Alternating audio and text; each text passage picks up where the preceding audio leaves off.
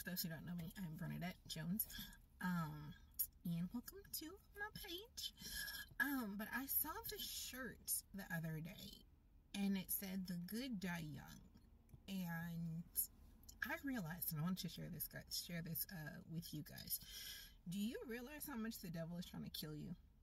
Or actually get you to kill you? Um, and what do I mean by that? He knows the power of words. He knows life and death are in the power of the tongue. And yes, we read that in the in the Bible. He knows that. So if he can get you to say things like life is short, the good die young, you're saying this.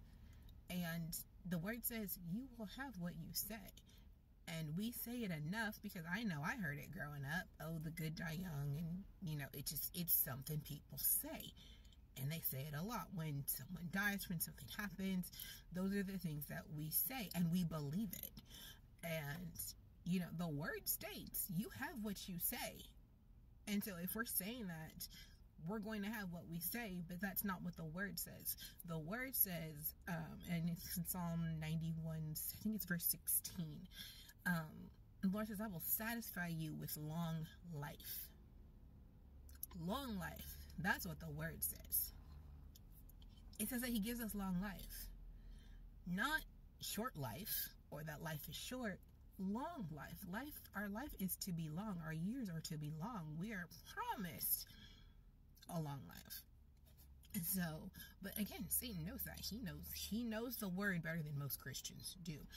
So, what do you think he's going to try to get us to do? He's going to get us to try and say, "Oh, life is short."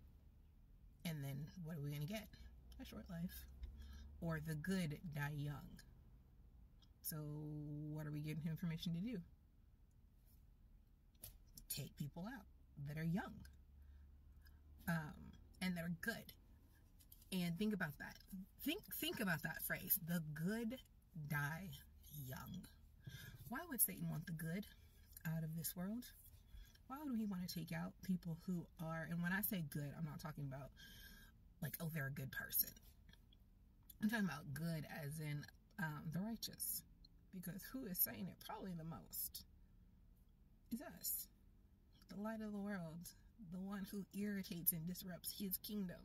So you think he doesn't want to take us out at a young age if he can? Get rid of the future pastors, the future teachers, the future future Christian business owners, the future Christian athletes that are going to make a difference and they're going to change things you don't think he wants to get rid of him as soon as he can? So, you know, when we're seeing that, that's not that's not God. That's not what his word says. That's not his nature. That's not his character. He says he satisfies us with long life. So we have got to stop saying these popular and these cute phrases because of something that happens. Look, Satan comes to steal, to kill, and to destroy. That's it. Steal, kill, and destroy. Jesus came so that we can have life and have it more abundantly. He came to give us life. So we have life, we have long life, and we have an abundant life through Jesus. So we need to stop saying these things and stop saying, oh, well, God just want a little flower in his garden. No. No. Find me a scripture to back that up.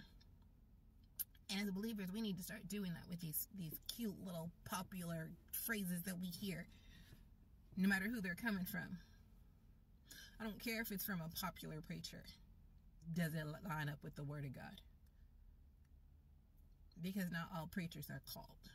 Not everybody who who is in that position or every church is in existence because because uh, you know not every day every, nowadays everybody starts at a church and they call it a church um, and it, not a single saint or believer you know in it.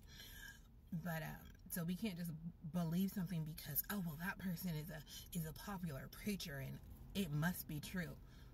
Does it line up with the word? If it lines up with the word then it's true. If it does not line up with the word it is not true. And we need to stop taking everything we hear as truth. So we need to stop saying the good die young we need to stop saying life is short life is not short life is long we have long life god gave us long life he blessed us blessed us with long life So we need to stop saying that life is short. We need to stop accepting that life is short. We need to stop accepting all these cute little phrases because Satan is trying to kill you. And he's going to do it by your very own mouth if you let him.